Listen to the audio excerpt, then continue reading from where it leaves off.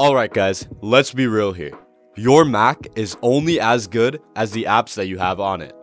And over the years, I've found some absolute game changers that I literally cannot live without. So whether you're a student, a content creator, or just someone looking to boost your productivity, these apps will surely take your Mac experience to a whole new level. Let's get straight into it.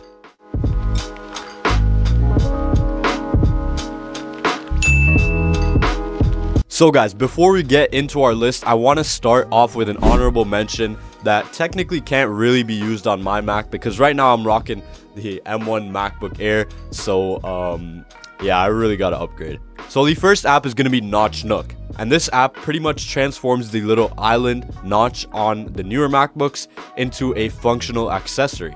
This lets you organize your widgets, customize your UI, and just make use of the dead space that that notch has. And I've seen a couple of my buddies use it. It is fantastic. I'll put some clips of it right here. But it literally works like as if Apple made it, but it is a third-party feature. I definitely, definitely would have it if I had a Mac with a notch on it. It is such a great app. I had to, had to, had to include it in this list as an honorable mention.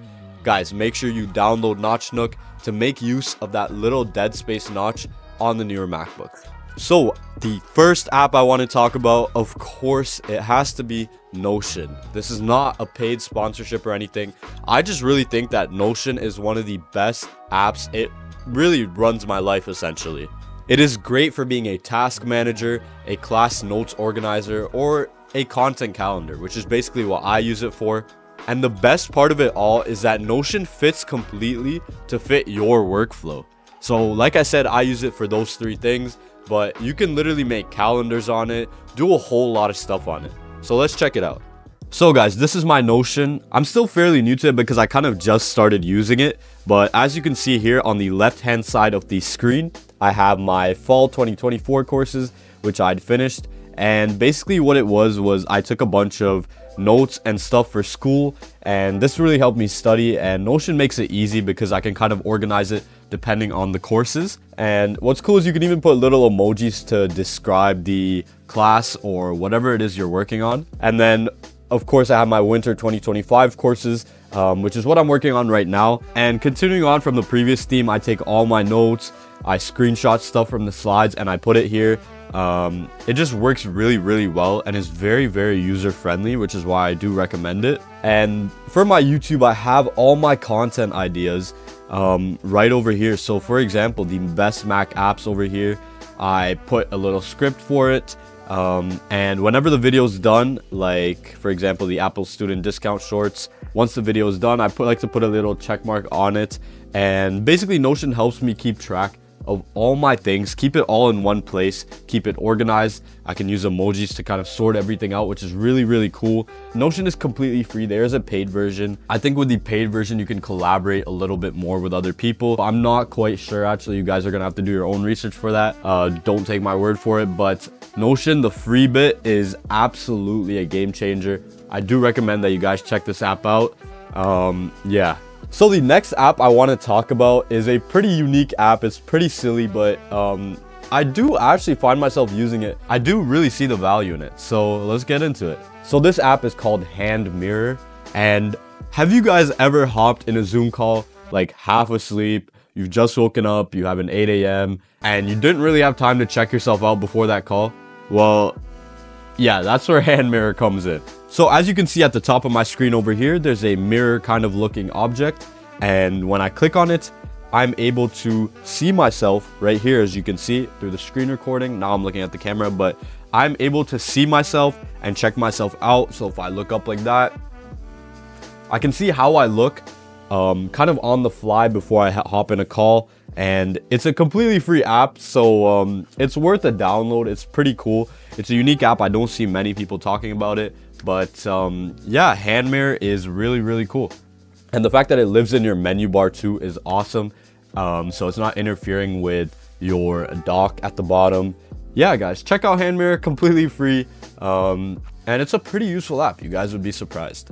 So the next app is something that I have been gatekeeping from all of my friends just because it looks so cool. But um, I think it's time to let the secret out. So the app that I'm talking about is Sleeve. And if you guys look at my screen over here, at the bottom right, you can see a Drake track is playing over my dead body. Absolute banger. But basically what Sleeve is, is it's an aesthetic Spotify player. So this is perfect for you music lovers who love to do work and listen to Spotify at the same time, which is me. I love doing that. So this app puts a super clean and minimal music player as a widget on your home screen and it looks perfect. You can move it around as you can see here. Uh, I like to keep it in the bottom right corner because it's like the least cluttered space. But if I want to play the track, I can just go ahead and play it like that. But I'm not going to for copyright reasons. You can skip the track, go next. You can heart the track. And it's all interlinked with your Spotify. The app is down here. So if we click on it, you can change a whole bunch of stuff with the little player at the bottom. For example, you can change the theme of it. Um, you can make the music like that. You can make it classic. I like to keep it this new version. You can change the layout. You can change the words from horizontal to vertical. You can make them stacked. You can make the music text only as well. But of course, when there's an album cover, I like to have the album cover there. You can change the artwork size from small, large, extra large.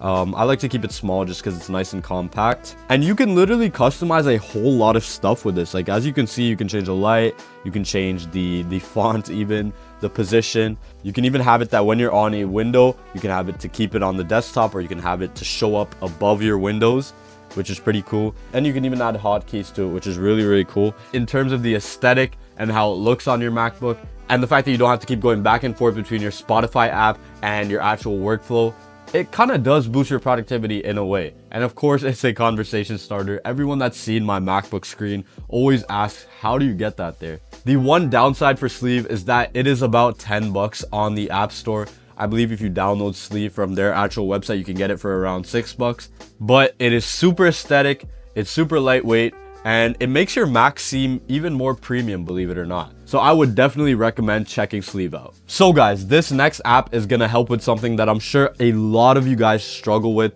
and that is window management.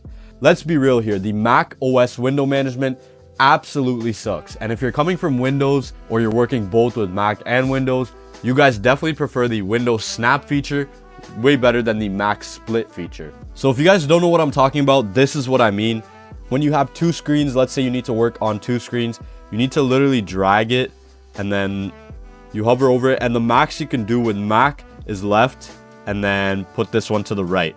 The max that you can do with Mac is this. And to be honest, it's not very helpful at all, especially for those of you guys that need to work on three, maybe even four windows at a time. That's where Magnet comes in. Now, Magnet is another paid app, but it is literally, I think, the most useful app on this list, for me at least. So you're able to have many, many different options.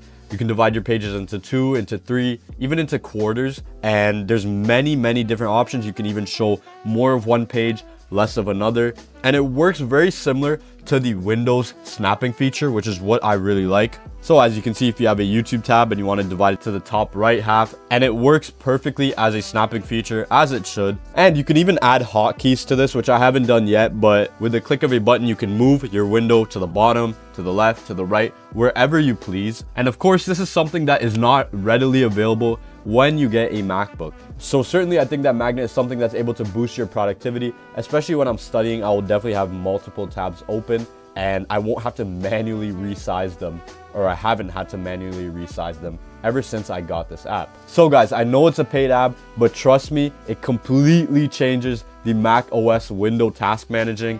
Once you use it, you guys won't go back.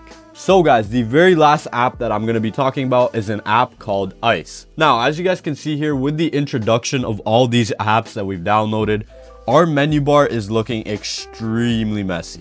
Like there's hand mirror there, there's magnet there, Notion is up there as well. I work a lot on Microsoft Teams, so that's up there as well. And it just looks very, very cluttered. Ice is an app that helps significantly with that. Uh, so it's a free app and basically all you have to do is everything to the left of the ice icon in the menu bar, you can hide it and everything to the right, you can keep it. You can change your menu bar layout, the menu bar appearance as well. Right over here in my menu bar at the top where my mouse is, if I click it, all the apps that I use will be there. And if I click it again, they will all be hidden, which is so perfect. It gives much of a cleaner look to my menu bar. And as a minimalist, I really, really like this. So I'm not constantly staring at a messy menu bar. I think that Ice does a great job of hiding it so that it is not all shown to me at once and I'm able to focus on my tasks that I have at hand. I don't know, it just makes my Mac look a hell of a lot cleaner and I cannot go back to a cluttered menu bar ever again after using Ice. So guys, that pretty much wraps up my video of the best Mac apps that I literally cannot live without. You guys have to try some of these out. I swear it'll make a huge difference in your life. If you guys enjoyed the video, please leave it a like drop some comments as to which Mac apps you guys really enjoy using. I know there's a ton that I haven't mentioned, but I feel like I wanted to mention the ones that really impact me in my life. I know there's ones like Alfred or Raycast and those are really great Mac apps as well. But these ones were the most influential to me, and I think they will be really influential to you guys as well if you try it out. Turn on the bell notification so you never ever miss my uploads. We are on the road to 100 subscribers. Hope you guys enjoyed this short and sweet bit of content. It's been your boy Rush. Stay motivated, stay consistent. It's all love always. I'll catch you guys in the next one. Peace.